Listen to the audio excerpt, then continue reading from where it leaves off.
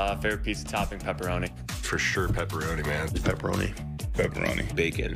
Underrated, but it's really good. Pineapples and pepperoni. Pineapples do belong on pizza. Worst thing you can put on pizza is pineapple. Pineapple would be the cliche answer. Warm pineapple. Mushrooms or onions? Pineapple or onions, man. Not for me. Onions.